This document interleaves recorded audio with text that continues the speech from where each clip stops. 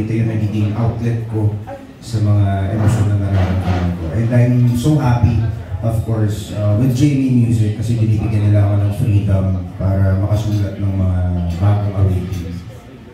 And tama ba pangatlong single mo na ba ito under uh, GMA? Yes. Okay.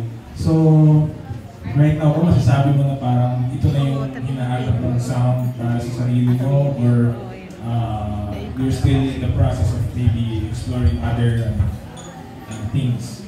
Um, actually, uh, this is my first time na mag-come up with this kind of genre.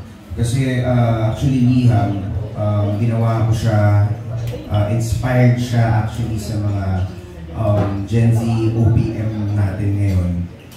So, uh, narinig nyo kasi yung second and first single ko, uh, actually medyo may pagka-John Mayer-ish yung mga sound ko doon. And uh, si John Mayer naman talaga yung main influence ko. Pero ang sarap lang kasi sa pakiramdam ngayon na uh, yung creativity ko, nagagamit ko siya dito sa music. And um, siguro, hindi ko masasabi na ito yung final sound ko. Kasi um, nandito pa rin ako sa stage ngayon na gusto ko maging komportable ako dun sa genre na gusto ko talaga. And at the same time, magugustuhan ng mga taong nakikinig. And then, uh, kwenta mo lang kami about yung, ano, more about yung pagsusulat mo yung process mo and then uh, based ba siya sa specific personal experience or dedicated ba siya sa particular person? Eh, wala naman ako pinag-dedicate na itong kanta na to. But, uh, oo, galing siya sa personal experience ko. This song actually is very personal to me. really. And, uh, ayun, sobrang personal sa akin itong kanta eh. Kaya sobrang bilis ko lang siya actually nasulat. Uh, yun nga, gaya ng kwento ko kanina, 15 minutes ko lang nasulat yung kanta. Kasi very raw nga ng emosyon. And uh, actually, nung nasulat ko yung kanta, pinadinig ko siya sa producer ko kay Paolo Agudelo.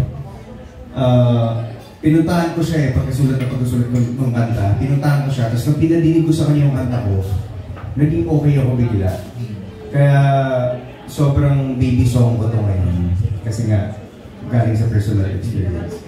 So mas okay din sa'yo magsulat ng songs at kahit the emotions? Yes. Para sa'yo? Para sa akin, um, kasi dati, pagka nagsusulat ako, uh, kumukuha lang ako ng iba't ibang inspiration sa iba't ibang tao eh. Um, so this is actually the first time na kung ano yung pinaka-peak ng emosyon ko na yun, sinubukan ko lang magsulat. And masarap sa pakiramdam kasi nabuhos ko lang din susulat yung gusto ko sabihin. Thank you.